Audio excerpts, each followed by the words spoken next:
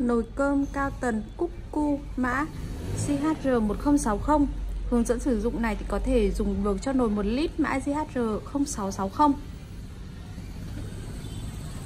ờ, Trước tiên khi mà muốn dùng được nồi thì các bạn bắt buộc phải khóa cái van này vào này. Khóa vào. Thì mới sử dụng được nồi. Còn nếu các bạn mở thế này và nhấp các nút phía dưới thì sẽ không dùng được nồi và nồi không hoạt động đâu ạ. Đây là khóa mở này. Bên này là cái phần van. Mình có thể tháo nắp ra để vệ sinh này.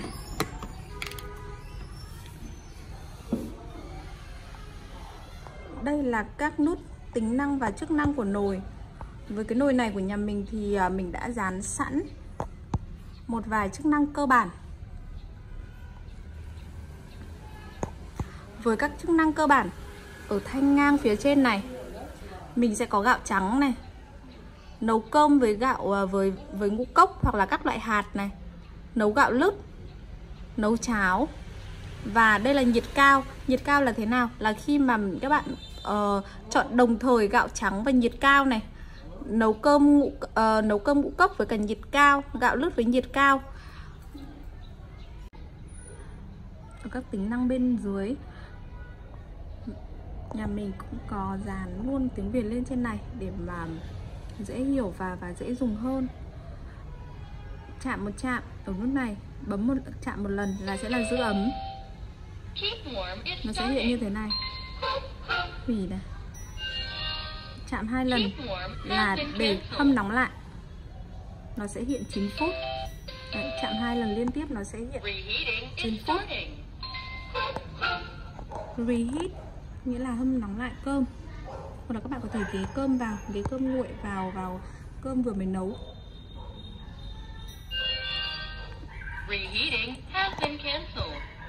Đây là phần hẹn giờ.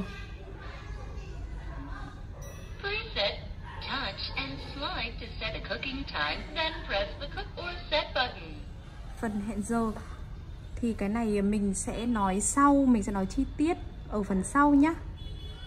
Ui. Ở đây là nút cài đặt.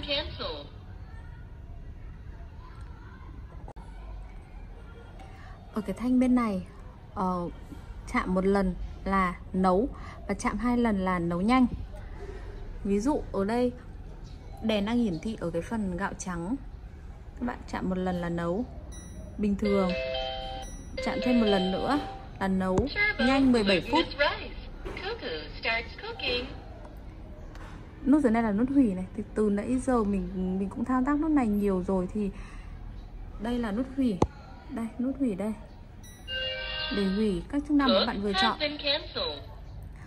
Đây là nút vệ sinh tự động, vệ sinh nồi. Thì nếu các bạn muốn vệ sinh nồi các bạn cho một ít nước vào bên trong lòng nồi.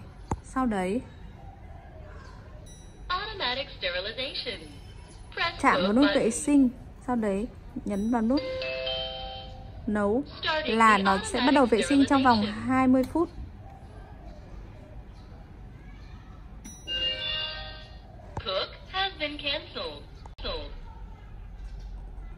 Bây giờ mình sẽ hướng dẫn chi tiết hơn các cái tính năng ở trong thanh cài đặt. Chạm một lần là để cài đặt ngôn ngữ. Đây là mình đang, nhà mình từ trước là đã chọn là số 2 là tiếng Anh Số 1 là tiếng Hàn. Số 3 là tiếng Trung Quốc. Mình sẽ chọn là số 2 nhé Sau khi thấy số 2 nhấp nháy mình. Ok để chọn. Như thế là uh, tiếng Anh đã được cài đặt làm ngôn ngữ của cái nồi này rồi. Tiếp theo muốn hẹn giờ muốn cài đặt giờ. Về đúng với cái giờ của của nhà các bạn. Các bạn nhấp hai lần vào nút cài đặt một lần này hai lần. ở trên này. ở trên này nó đang hiện là thời gian là buổi chiều PM buổi chiều. Mình nút chạm vào nút trái phải chạm vào nút trái phải để tăng giảm.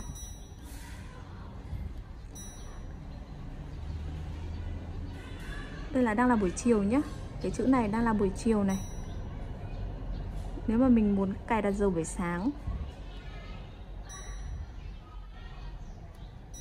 nó sẽ nhảy lên như thế này. Đây nó sẽ nhảy lên. Đây là cài đặt giờ buổi sáng.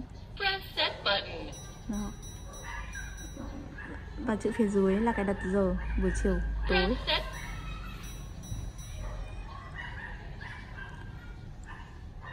Bây giờ đang là 4 giờ. 4 giờ 30 đi. Thì sau khi đồng hồ đã nhảy về buổi giờ buổi chiều 4 giờ 30 mình sẽ ok để chọn. Tiếp theo. Nhấp 3 lần. Để lựa chọn âm lượng. Số. Số 5 là âm lượng to nhất thì các bạn có thể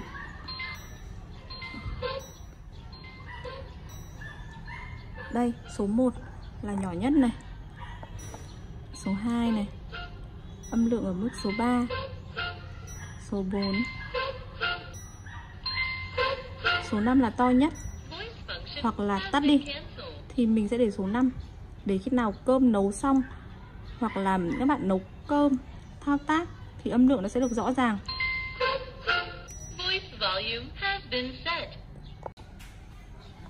Tiếp theo Setting mode for voice guide. Touch and slide to select voice. Setting mode for current Setting mode for volume. Setting mode for lần. warm temperature. Ờ, khi bạn chạm liên tiếp 4, 5 hoặc 6 lần Chạm 4 lần thì sẽ là cài đặt ở cái nhiệt độ giữ ấm Chạm 5 lần thì là uh, để cài đặt chế độ giữ ấm Chạm 6 lần là sẽ vào các thanh menu.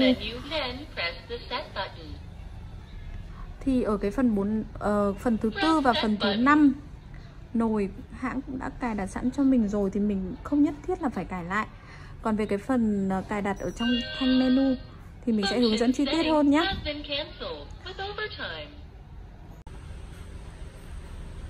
ở cái chế độ hẹn giờ Canceling power save. Ở chế độ hẹn giờ nhé. Preset touch and slide to set a cooking time, then press the before set button. Các bạn có thể chọn giờ sáng hoặc là giờ chiều. Ở đây nó đang hiển thị là 8 giờ và ở cái chức năng là nấu cháo, nghĩa là 8 giờ sáng ngày hôm sau các bạn sẽ có cháo ở trong nồi. Thao tác rất là đơn giản. Bước đầu tiên. Chọn thời gian. Thời gian này sẽ là uh, thời gian đúng với cả đồng hồ của nhà các bạn. Sau khi mà đã được cài đặt thời gian như mình đã hướng dẫn nhé đây mình ờ, để là 8 giờ 30 sáng của ngày ờ, 8 giờ 30 sáng ngày hôm sau. Tiếp đến chạm vào nút ở giữa để tùy chọn các chức năng nấu. Nó sẽ hiển thị luôn là 8 giờ 30 sáng ngày hôm sau. Mình nấu gạo lứt cùng với nhiệt cao. Hoặc 8 giờ 30 sáng ngày hôm sau thì mình sẽ có cháo thì mình sẽ để hết tất cả nguyên liệu ở trong nồi. Sau đấy hẹn thời gian là 8 giờ 30 sáng ngày hôm sau này, chế độ là nấu cháo. Cuối cùng là nhấn nút Start nấu. Như thế là các bạn đã hoàn thành xong cái cài đặt thời gian nấu cháo cho ngày hôm sau rồi. Để hủy. Nó sẽ về thời gian hiện tại ạ.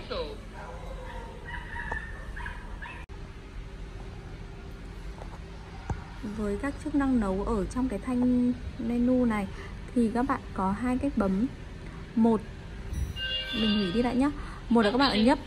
Liên tiếp 6 lần để vào thanh menu nấu hoặc nhanh hơn là chạm trực tiếp ở trên cái nút này, nút màu bạc này. Đó.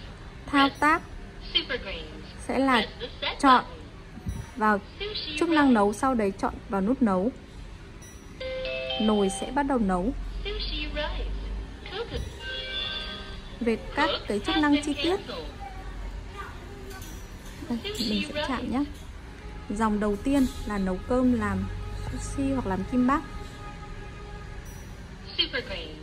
Tiếp theo là nấu cơm cùng với các loại hạt cứng. Dòng thứ ba này.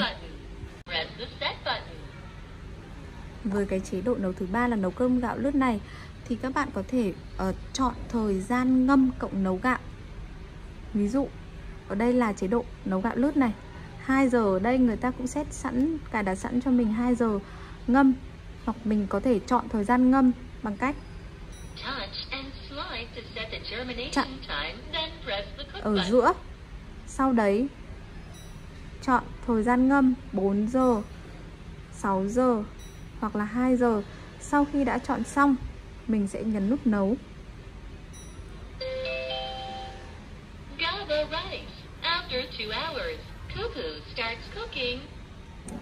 Thì gạo lứt của các bạn sẽ được nấu sau 2 giờ ngâm.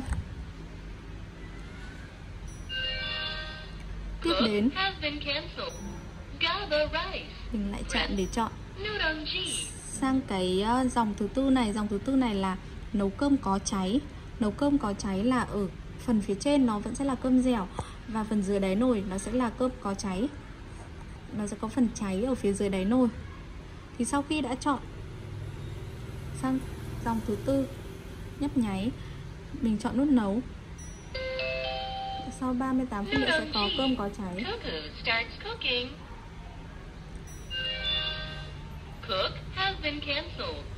Tiếp theo. Nudongji. Glutinous rice.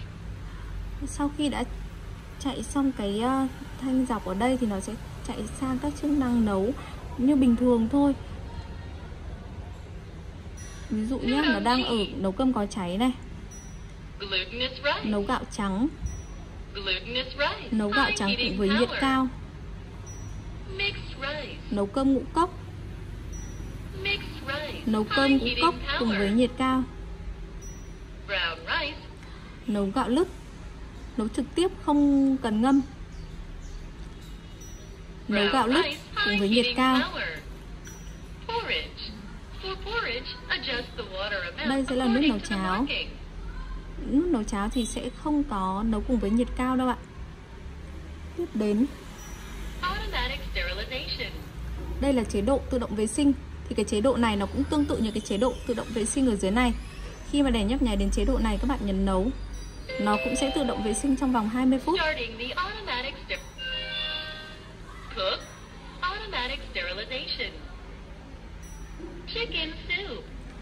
Đây là chế độ ờ, hầm gà. Hầm gà.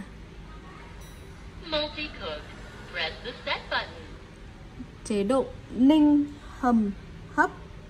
Thì với cái chế độ này các bạn có thể tùy chọn được thời gian ví dụ nhé mình vừa chọn vào cái chỗ ờ, hầm ninh hấp chạm thêm một chạm nữa để chọn thời gian 100 ninh hầm hấp trong vòng 2 120 này, 10 phút này. Các bạn tùy chọn thời gian mà mình cần nấu thôi, tùy thuộc vào cái nguyên liệu mà các bạn nấu ở trong nồi. Ví dụ ở đây là mình chọn ờ, chế độ ninh hầm, trong đấy chọn 50 phút. Và nhấn vào chế độ nấu.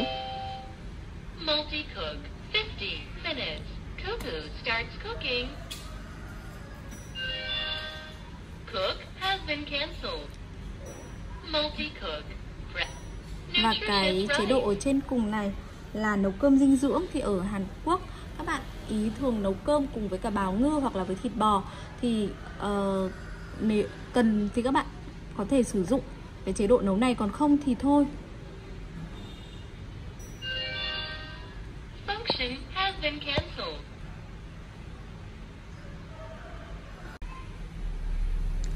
Nhìn chung thì nồi cơm này rất là dễ sử dụng và chủ yếu là mình dùng ở cái các cái thanh ngang ở các chức năng nấu ở cái thanh ngang ở phía trên này là nhiều. Thì có một lưu ý là nếu muốn dùng nồi và muốn nồi bắt đầu hoạt động thì các bạn phải khóa van vào này. Lưu ý là phải khóa van vào.